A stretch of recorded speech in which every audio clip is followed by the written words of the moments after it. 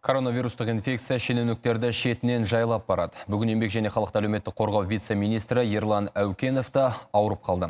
Тапсырған тест ағзасында COVID-19 бар екенін анық- анықтап беріпті. Мұнысын әлеуметтік желіде жазған. Үш төрт күн бұрын ғана ауырып емделіп шыққан адамдардан қалай болатынын сұраған едім. Енді қандай болатынын өзім де сезініп жатырмын. Бір айта кетерлігі әркімде әрқалай өтеді. Менің бүгінгі сезінгенім құдды бір екі күн бойы вагоннан жүк түсіріп немесе бірнеше гектар картоп отырғызған сияқты болып отырмын. Ондай жұмыс істеп көргендер түсінеді.